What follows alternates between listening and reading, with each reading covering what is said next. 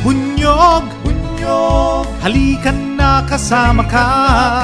Bunyog, kapag buklod ay may pag-asa.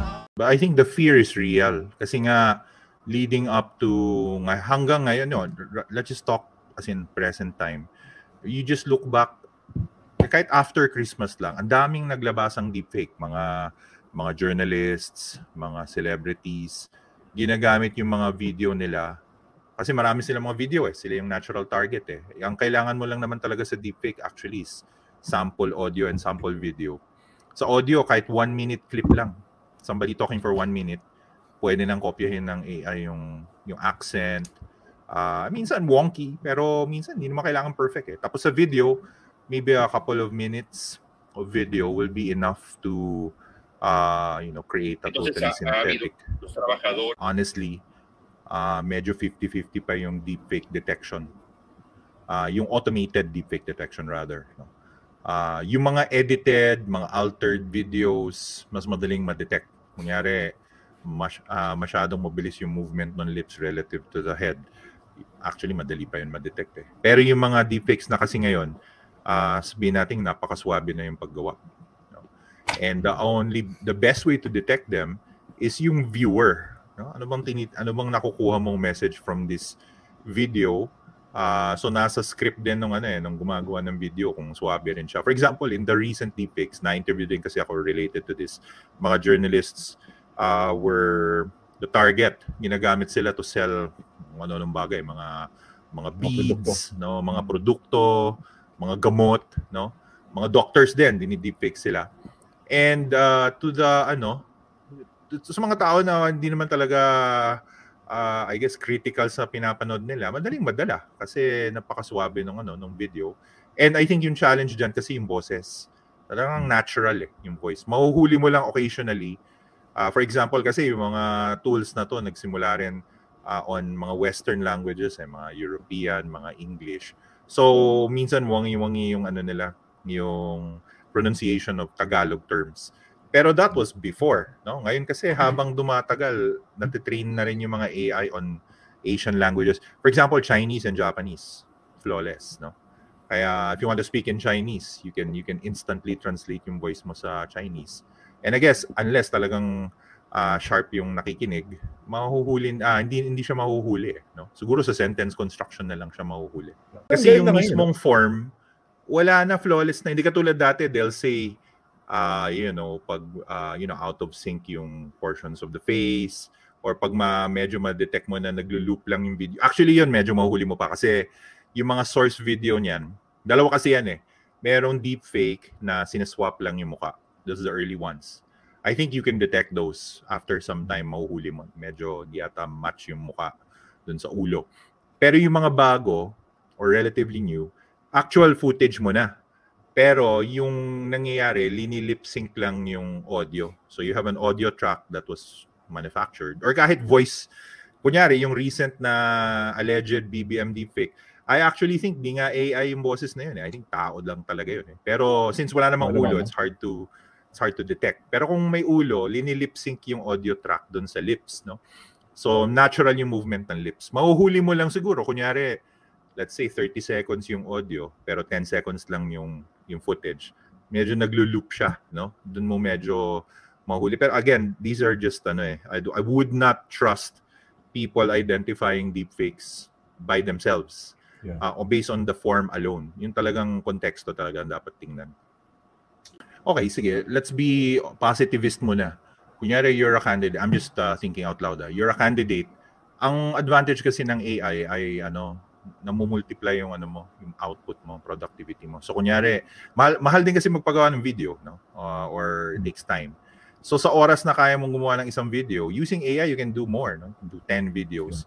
So in a way that is that bad? Ni naman. Pero ang challenge lang doon is uh, it's an unfair playing field versus doon sa mga wala. So magkakaroon ng arms race na ngayon. Kung yung isa magdi-deepfake, uh, din lahat magdi-deepfake. Okay, fine. Yung negativist dyan is hindi naman lang sarili mo yung pwede mo i-deepfake. Eh. pwede mo i-deepfake yung kalaban mo. Pwede mo i-deepfake yung mga competitors mo.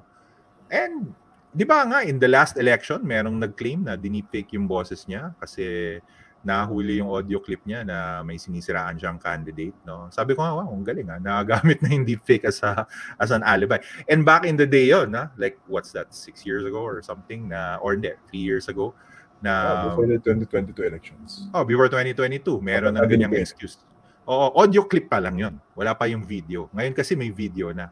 And yun din yung, I think you carry it one level further paano kung let's say meron ng hablahan litigation on both both sides no and video is the evidence you can immediately say ay deep fake yan di ako yan okay. and right now kung wala namang mga effective tools to detect it you need to hire some experts ready lulusot yon on the flip side pwede mo namang i-allege na actually legit yung video na yan sinabi talaga ni Ian Esguerra yan uh, then it's up to you now to defend yourself and say no that's not me can you see na ano video used to be so reliable ngayon hindi Wala na. na. Yun yung kinakatakot ko actually. Yung isa sa, di ba CCTV? Yung isa sa nagagamit yan as part of your evidence. Your, the evidence, di ba? Legal. And kahit sa journalism, no? may nabangga, ganyan. Eh, ang CCTV, hindi pa yan perfect HD na quality. Medyo blurry pa yan. So it's actually quite easier to deepfake that, to be honest, compared to yung mga high-resolution HD video. Di ba mababaliwala na yung CCTV, for good or for bad, uh, we lost another tool no in the in the pursuit of truth. So I feel that talagang ano, uh, maraming possible social harms yan deepfaking. Tama na, may resources na yung kalaban mo na no, they have to spend money defending themselves, etc. Pero sige, wag tayo lumayo. 'Di ba before, years ago, na may umikot na hindi nga deepfake yun eh. Fake, talagang halatang fake yung spliced video ni Senator Laila, 'di ba? Yes. Halata naman talagang fake, 'di ba? Pero that that damaged her reputation. must have led to, you know, part-time. Oh, tapos may mga siraulang congressman na gusto pang i-play sa ano, committee hearing. You're correct. So, ang, ang point ko dyan, hindi naman kailangan perfect para ma maloko yung tao. Eh, lalo na kung medyo perfect, perfect pa siya, di ba? Uh, that's the problem. Kaya, uh, actually, uh, honestly, I would be supportive in principle of, of a ban. Ang question ko lang is how would you ban or how would you catch people lalo na most of this is probably going to happen sa social media na ang hirap hulihin. For example, yung mga ads, di ba? May nag-ads. Ang ads by default, hindi mo makita sa news feed yan eh. Kunyari sa TikTok or sa Facebook. May sariling post yan eh. Uh, tina-target mo kasi kung sino makita ng ads. Uh, pero pag hinana, i-search mo siya sa feed nung kung sino man yung nag-post, hindi mo makikita. So actually, it's very effective. And unless ma-report mo yung mismong post ID sa platform, hindi yan matitake down. So good and bad, ang hirap ang hirap pulihin. And then not, idamay na natin si social media dyan kasi right now wala rin yan sa Omnibus Election Code which is rather outdated. Uh, yung mga rules on media and uh, election propaganda does not cover these digital uh, tools. So how do you complain? What's the basis of your complaint? Hindi mo mahuli yung post. Uh, 'Di ba? At saka by default gumastos may gumastos kasi ads eh, 'di ba? So that would be in a way, you're paying, uh, basically, well, may liability siguro dapat yung platform dyan na pinagkakitaan nila itong disinformation na to or hate speech. But then on the flip side, kung ikaw yung victim or you're a citizen, how do you catch it? It's very hard to catch. So yung combination ng deepfake at social media, I think that's, yun talaga yung crux of the issue. May kulanong salita na ang ibig sabihin dito ay ang pagkakaisa. Bunyog Party List. Halika na, halika na, Bunyog Party List ka na. Halika na, halika na, Bunyog Party List ka na. Sa susunod, ang atinang suportahan, Bunyog Party List, nagtataguyod ng katotohanan, lumalaban para sa bayan. Bunyog, bunyog, halikan na kasama ka. Bunyog, kapag buklod ay may pag-asa. Luzon, Visayas, Mindanao, isa ang pananaw.